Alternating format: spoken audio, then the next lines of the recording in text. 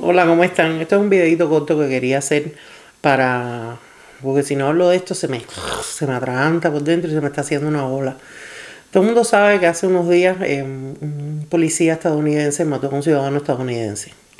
Eso ha traído revueltas, eh, manifestaciones, saqueos, ha traído bueno, ha sacado de lo bueno y ha sacado de lo malo.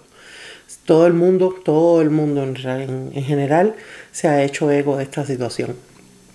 Eh, luego se nos ha hecho viral entre, entre la población, entre el pueblo cubano, entre nosotros los cubanos, de un ciudadano cubano ayer que fue detenido por no usar un tapaboca, eh, conocido como nausobuco en Cuba, esa palabra se me enreda en la lengua, no existe en ningún lugar, es una palabra cubana nada más. Caso es que el hombre fue detenido, lo llevaron para una unidad en Calabazar y eh, con un arma blanca mató a un policía eh, hirió a dos, no sé si se murió uno, no, no tengo bien los datos de cómo fue la historia.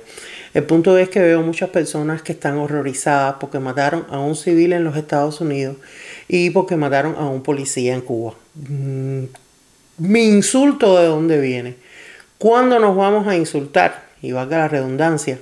¿Cuándo nos vamos a insultar? Porque la policía cubana arrastra, golpea, se lleva injustamente a mujeres que lo único que hacen es protestar con un gladiolo en la mano, unas mujeres indefensas, indefensas en el sentido que salen en paz, no porque ellas sean cobardes ni mucho menos, unas mujeres que a todo lo contrario se llenan de valor y salen a las calles a protestar por la libertad y por el bienestar de su familia, de su pueblo, de nuestra familia y de nuestro pueblo.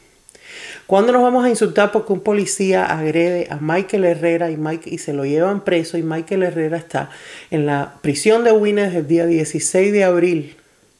Michael Herrera tiene una condición médica que necesita tratamiento, tratamiento constante. No lo está recibiendo. Tenemos otros presos, tenemos una muchacha ahora que no recuerdo su nombre y para no decirlo mal, no lo recuerdo con exactitud, está en huelga de hambre. Se acaba de morir una periodista, una luchadora en Camagüey. Los desmanes, los horrores que hace la policía constantemente, los horrores que hace el gobierno cubano contra el pueblo cubano son constantes. ¿Cuándo nos vamos a insultar por eso? ¿Cuándo vamos a dejar de ser los mismos? Los mismos que además no somos pagados por el imperio. Quiero decir que estoy diciendo esto a título personal, que yo no represento a nadie, que no pertenezco a ningún partido, a ningún grupo, no cobro membresía, nada de eso. No estoy afiliada con nadie. Yo soy simplemente una cubana más que mira, observa y se insulta. Porque cuando yo dejé la isla en el año 2009, aquello estaba malo. Malo, malo, malo, malo, malo, que la gente decía que yo no se podía poner peor. Y resulta que no, resulta que nos sorprendimos y sigue peor. Hoy, 11 años después, ahorita va para 12. Entonces, ¿hasta cuándo? ¿Hasta cuándo vamos a seguir teniendo presos políticos? Los presos políticos no debieran existir. En un lugar con democracia, tú piensas de una manera y yo pienso de otra y tenemos que coexistir y tenemos que respetarnos y nadie puede ir preso por pensar diferente. Eso va en contra de, de los derechos humanos, de la Declaración de los Derechos Humanos. Una vez más les digo, lean la Declaración de los Derechos Humanos. ¿Saben qué es lo que pasa? Que les hacen pasar hambre, les parten las piernas, como dice por ahí el dicho, les parten las piernas y les dan una muleta, ellos mismos, el mismo que les parte las piernas, les da una muleta para que les estén agradecidos. Así no funciona el mundo, así no debería funcionar la raza humana y mucho menos y bueno, y peor aún en Cuba, que es donde más se irrespetan los uno de los lugares donde más se irrespetan los derechos humanos. Yo no estoy diciendo a nadie que salga a la calle. Yo lo que estoy diciendo es que el mismo insulto y la misma energía que agarran cuando matan a un policía, que en realidad es un represor, porque nosotros seremos la oposición, pero ellos son la represión. La represión constante, perdón por haber tosido.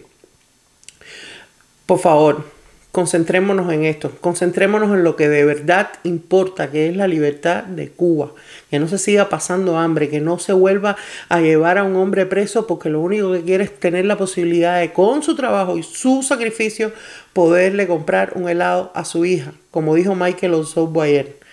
Ayer yo estaba mirando una directa de Michael Osorbo y se me hizo el corazón una pasita cuando dijo eso. Yo lo único que quiero es que cuando mi hija me pida un helado, yo la pueda llevar a comprar un helado cosa que en Cuba no funciona, no sucede porque no es un helado para la hija. Muchas veces no hay un plato de arroz para darle un hijo. ¿Hasta cuándo? Concentrémonos, concentrémonos. El mundo no es así como nos han querido, que nos han inyectado en el cerebro, como quien ya sabemos nos inyectó en el cerebro. Quien ya sabemos que tiene nombre, Fidel Castro.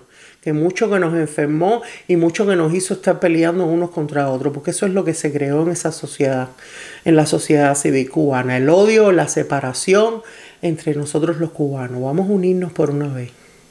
Vamos a unirnos para estar todos libres. Repito, a mí nadie me paga por decir esto.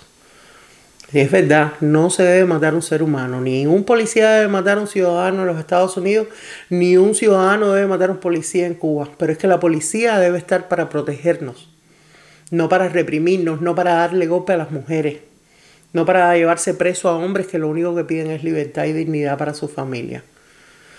Se los dejo de tarea.